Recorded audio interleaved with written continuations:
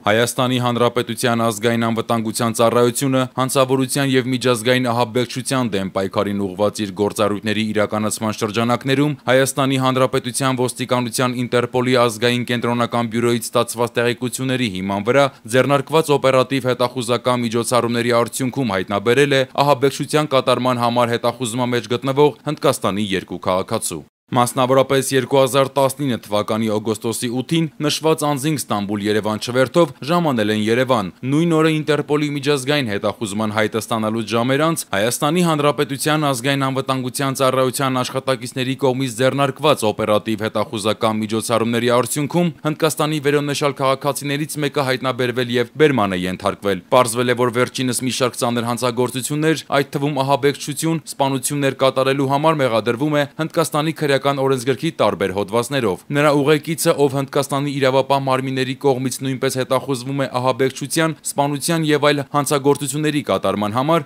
օգոստոսի 14-ին եւս հայտնաբերվել եւ բերմանը ենթարկվել Բագրատաշենի սահմանային անցակետը հատելու փորձ կատարելիս։ Հնդկաստանի երկու քաղաքացիները կալանավորվել են։ Ծանուցում Ենթադրյալ հանցանքի մեջ կասկածվողը կամ մեղադրվողը համարվում է անմեղ, քանի դեռ նրա մեղավորությունն ապացուցված չէ Հայաստանի Հանրապետության քրեական դատավարության օրենսգրքով սահմանված կարգով դատարանի օրինական ուժի մեջ մտած դատավճռով։